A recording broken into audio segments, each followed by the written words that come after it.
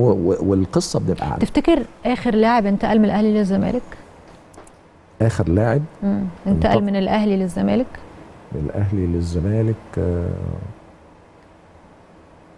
أعتقد آه، مش متذكر. طب خلينا بيلعب من- دلوقتي؟ من الزمالك. للأهلي. من الزمالك للأهلي. كهربا. آه، شفت التعاقد إزاي؟ كهربا. شفت. التعاقد إزاي مع كهربا؟ برغم مشاكله اللي كانت موجودة في الزمالك ولسه موجودة في النادي الأهلي.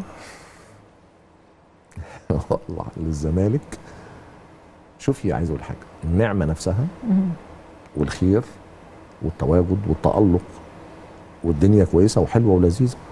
وكمان احتراف وبروح ألعب في النادي ال- في الاتحاد جدة السعودي. والناس كلها بتبقى طايرة بيا والدنيا جميلة. لحد ما بيجي يحصل هي نقطة فارقة. نقطة فارقة. فبسيب كل الكلام ده كل الخير ده وابتدي انتقل ل ممكن يكون النادي الأهلي نادي كبير مم. أي حد بيحلم يروح النادي الأهلي لكن ممكن يكون التوقيت مش حلو مم. فلما راح كهربا راح بطريقة أو بأخرى مم. ففي التوقيت ده لما راح كهربا أنا بكلمك في النادي الأهلي مش هو ده التوقيت اللي ممكن كهربا هي... هيلاقي نفسه. عشان كده تلاحظي. يمكن الغربة مش مناسبة ليه شخصيا. لا ما فيش غربة. هم عارفين بعض كلهم اللعيبة. يعني اللعيبه هو ابن النادي الأهلي. لكن كلهم عار... كلهم عارفين بعض. يعني خليني على أقول لك على سبيل المثال. مؤمن زكريا.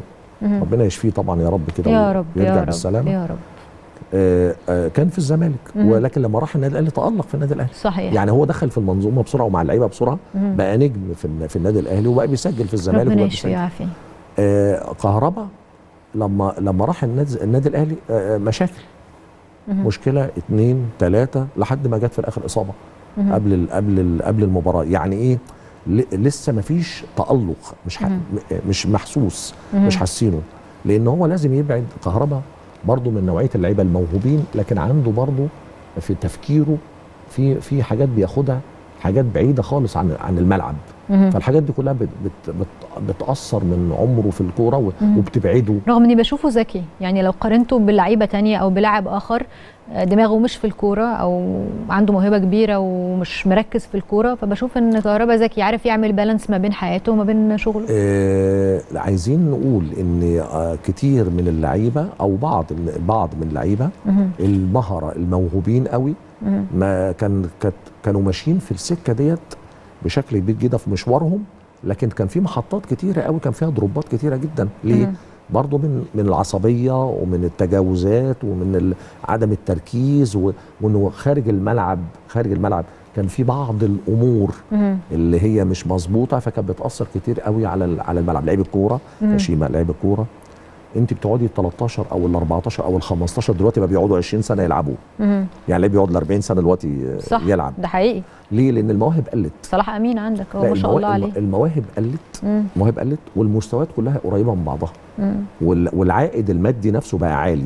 صحيح. فاللعيب بيقدر يلعب ويكمل في المستوى. لكن لو وكمان في آه، تقنيات جديدة في العلاج وفي التأهيل وفي الحاجات عليكي. دي بتفرق كتير دي جدا دي في عمر اللاعب. النقطة دي انت. برضو كملتها لي النقطة دي اللي هي الحاجات ال- اللي هي التقدم في في حتة الطب في ال- العلاج الطبيعي بالنسبة لل- مم. للعيبة الحاجات دي بقت سهلة جدا حتى السفر لأفريقيا نفسه إحنا كنا بنعاني دلوقتي بقى سهل جدا طيارة خاصة بتروحي وبترجعي على طول في, في نفس اليوم فالحاجات دي كلها بقت بالنسبة للعيبة كانت بتسهل عليه إن هو يبقى مم. مركز جوه المستطيل هرجع لكهربا مم. هقول إن هو المفروض إن هو يعيد حساباته تاني مم. يعيد حساباته ويركز انه يشتغل في المستطيل هو بيلعب للنادي الأهلي لأن مم. إذا كانت الفرصة بت بتعدي مرة ولا التانية بعد كده مش هتيجي تاني.